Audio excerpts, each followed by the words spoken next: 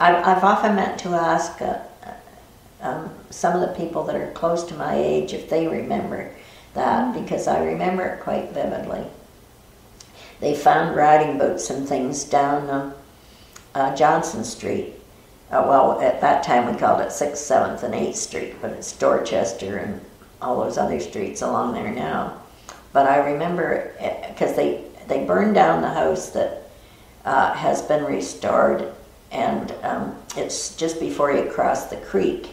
Uh, there was another big house right at, on the bend at the end of Queen Street. They burned that down, and they burned two others, and I can't remember which ones they were.